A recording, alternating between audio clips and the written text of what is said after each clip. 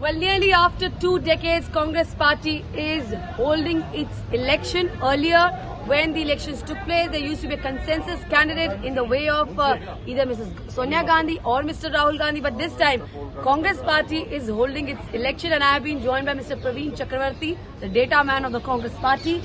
Mr. Chakravarty, sir, your delegates have also started arriving. But at the same time, a big question is how was the journey? Because last October, you started on this mammoth task of going all out and enrolling everybody.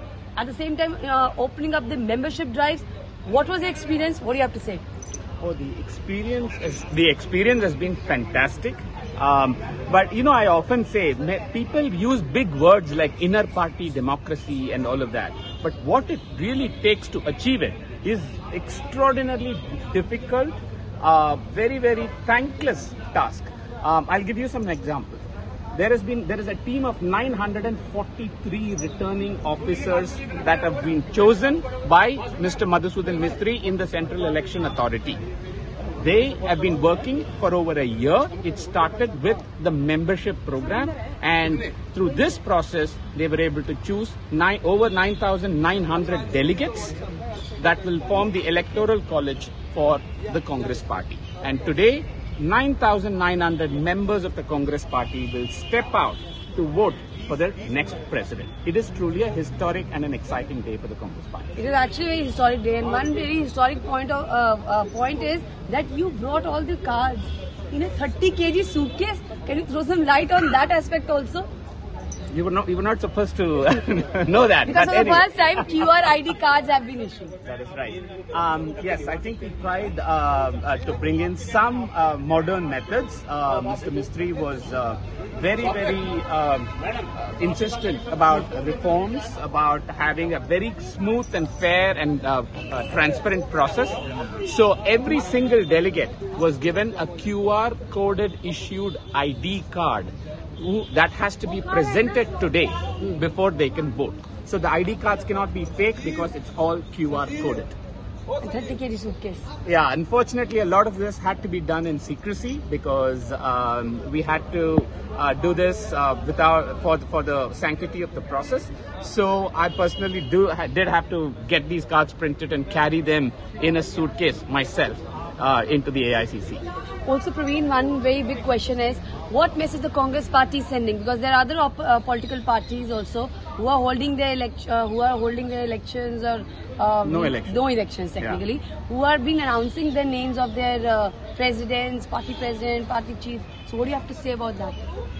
Yes, see, I know that the Congress party is held to a much higher standard in the uh, in the country, and I think that is correct. The Congress party is the party that won independence for this country and built India into a republic. So, Congress party needs to be held to a higher standard. So, I am not at all surprised that other parties do not have the ability or the institutional capacity to hold elections internally to choose their leader. And for the first time, this is, this is another first. There's a container polling booth. That is right, yes.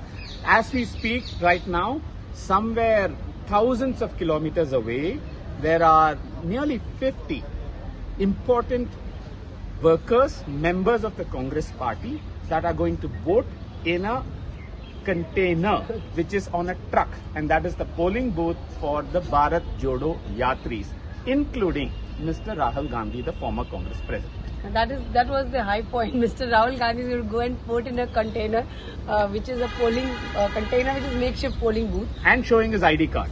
And showing his ID card. that is very important. Praveen, how has been the experience as far as Bharat Jodo Yatra is concerned? Because when we were there discussing it, there also people were really concerned about the elections. And you know, two main contenders come from the state of Karnataka and Kerala, from where the Yatra has just crossed. And how has been the contest? How do you see this entire process vis-a-vis that of, you know, how people are excited not just of Bharat Jodo Yatra, election, and we saw a lot of names coming in, Digvijay Singh ji, um, Ashok Gehlot ji, and finally we are seeing this day today. What do you have to say about it? See, the fact that uh, both the candidates, one is from Karnataka and one is from Kerala, and are the two states that the Bharat Jodo Yatra finished, was coincidental because the Yatra map was drawn much, much before we knew who the candidates were going to be. But having said that, you're absolutely right. The Bharat Jodo Yatra is about connecting to people.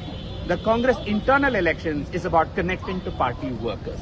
And the Congress party is buzzing with activity of connection to people, connecting to workers through the Yatra and through the internet. My final question. How has been your experience as far as right from digital membership to the QR code ID and being part of this historic process which has taken place nearly after two decades?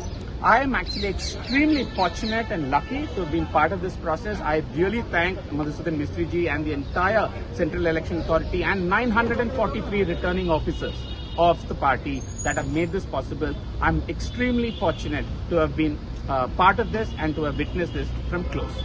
Well, that was uh, Mr. Praveen Chakravarty, uh, the in charge of Congress Party's data department, talking to us with journalist Satya Supriya Bharadwaj for India Today in Delhi.